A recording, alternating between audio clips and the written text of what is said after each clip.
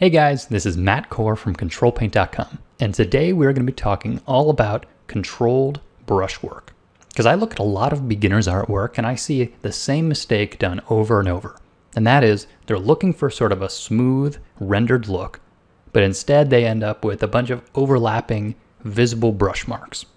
So today's exercise is designed to practice having smooth rendering and avoid that kind of an effect. But as a quick reminder, if you look below the post, you'll find links for free brushes and worksheets, as well as in-depth premium series available in the Control Paint store. So your assignment is to copy my rendering samples. And I've attached two sheets of these, one that's black and white and one that's in color. So I'll show you what I mean by doing a few of them, and then it's up to you to do the rest on your own. Looking at this first one in the upper left-hand corner, you can tell a couple things about it. First, you can see that it's got hard edges. There's also a bit of a gradation from the bottom left to the upper right. It starts very white and it ends up being a bit grayer. So there's a bit of a fade. So that means there's going to be two things smooth rendering on the inside and hard edges on the outside. Well, that's a perfect candidate for what I call temp layers. So I'll use maybe even a soft brush and I'll paint by selecting this white color and start with the intense white and then it fades out a bit over the edge. So that is the smooth fade. Well, now I want the hard edge. And you could do this with a mask if you wanted. I'm just using the eraser tool, but however you want to do it's fine. And now I'm working on cleaning up that edge, trying to reproduce the shape that I see in my example.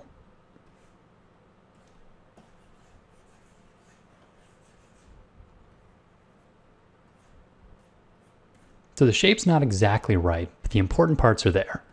It's got the correct smooth fade, there's no visible brush marks, and it's got a very sharp edge. And at this point, I'd be happy to just flatten this down to the rest of my document and move on to the next one. So here I've skipped ahead to a little more complicated one. So this one has a dark outside and a middle gray fade, and it fades back to dark on the other side. So I'm going to actually show using a hard brush for this. So I'm starting out by using a hard brush. I'll then make a new layer and paint that lighter gray on the inside. And if I want to make that fade a little bit better, maybe I'll switch to a soft eraser and soften up that fade a little bit.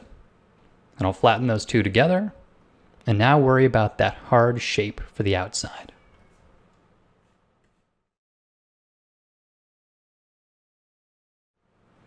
So the shape may not be exactly right, but the key elements are there. No visible brush marks, a sharp edge, and the proper fade from dark to light and then back dark again. Now once you finish the first sheet, which is all black and white, it's time to move on to the color sheet, and this one's a bit more technical. So we'll start with this oval red shape. And I'm going to begin by painting the base color and working on the actual silhouette of this shape.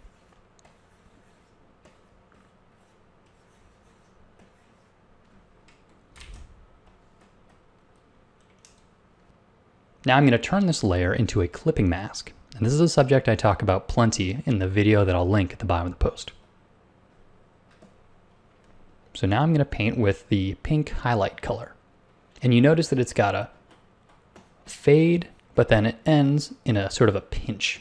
So it's got a sharp quality right here, but then a rounded soft quality here. So there's sharp and soft. And you can see how that indicates a certain type of surface. And you notice I don't have to worry about going outside the lines, and that's what the clipping mask is helping with. So now I'm going to make a new layer, make it a clipping mask, and I'm going to paint this blue color with a soft brush on the right side of it as well as on the left side of it. I'm going to erase away if I've painted too much. So there you can see I got a variety of soft transitions, hard transitions, and all the paint strokes are contained within that sharp outline. So once you're happy with all these, you can flatten them down and move on to the next one.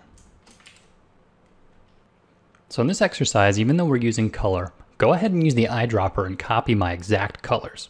This is all about brush technique. So your things to consider are going to be clean rendering, no visible brush strokes. The second thing you're going to consider is going to be your edges. Is it a hard edge or is it a soft edge? That transition between the two areas of color is incredibly important. So even though this may seem boring or straightforward, by the end of these 18 drawings, you will have learned a lot about your brush control, and it'll be something that you can apply to any paintings you want. So good luck and have fun. Thanks for coming to Control Paint, guys.